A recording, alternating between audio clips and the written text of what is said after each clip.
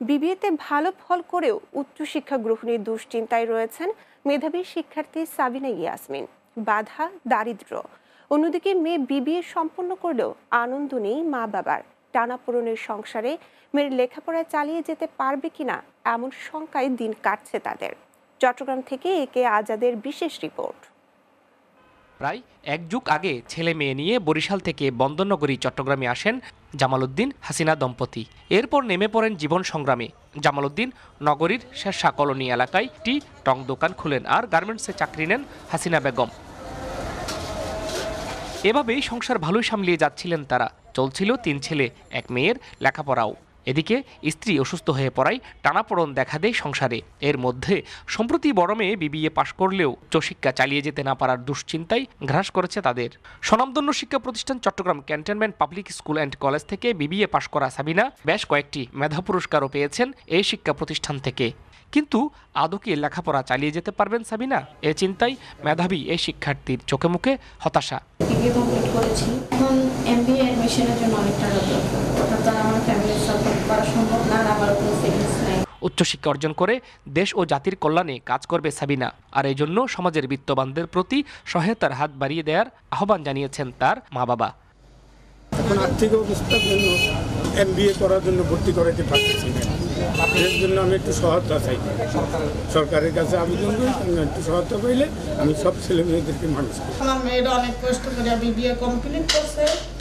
এখন আমি আরও পড়াইতে চাই কিন্তু আমার ফ্যামিলির পক্ষে আর সম্ভব না। মেধাবী শিক্ষার্থী সাবিনাকে কোনো সামর্থ্যবান ব্যক্তি বা প্রতিষ্ঠান সহায়তা করতে চাইলে যোগাযোগ করতে পারেন তার মায়ের শূন্য এক সাত ছয় চার আট আট ছয় দুই নয় পাঁচ এই মোবাইল নাম্বারে। একে আজাদ বাংলা টিভি চট্টগ্রাম। নারায়ণগঞ্জে উৎসব মুখর ও শান্তিপূর্ণ পরিবেশে জেলা আইনজীবী সমিতির নির্বাচনের ভোট গ্রহণ চলছে। সকাল আটটায় জেলা আদালতে আইনজীবী সমিতির অস্থায়ী কার্যালয়ে ভোট গ্রহণ শুরু হয়। বিকেল সাড়ে চারটা পর্যন্ত এ কার্যক্রম চলবে। নির্বাচনের সতেরোটি পদে আওয়ামী লীগ সমর্থিত সম্মিলিত আইনজীবী, সমন্বয় পরিষদ ও বিএনপি সমর্থিত জাতীয়তাবাদী আইনজীবী ঐক্য ফ্রন্ট এর দুটি প্যানেল প্রতিদ্বন্দ্বিতা করছে।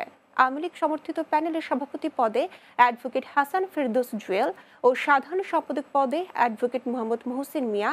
অপরদিকে বিএনপির সমর্থিত ঐক্য ফ্রন্ট থেকে সভাপতি পদে অ্যাডভোকেট সরকার হুমায়ুন কবির ও সাধারণ সম্পাদক পদে অ্যাডভোকেট আবুল কালাম আজাদ জাকির প্রতিদ্বন্দ্বিতা করছেন।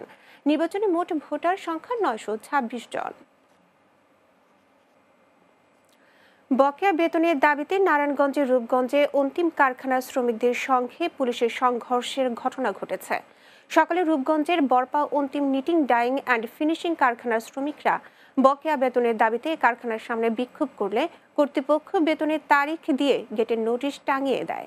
এতে শ্রমিকরা বিক্ষুব্ধ হয়ে ঢাকা সিলেট মহাসড়কের দুপাশে অবস্থান নেয়।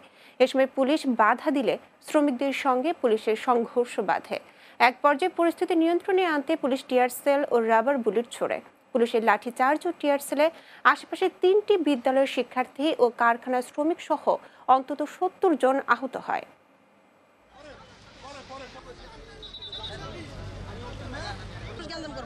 না দূরে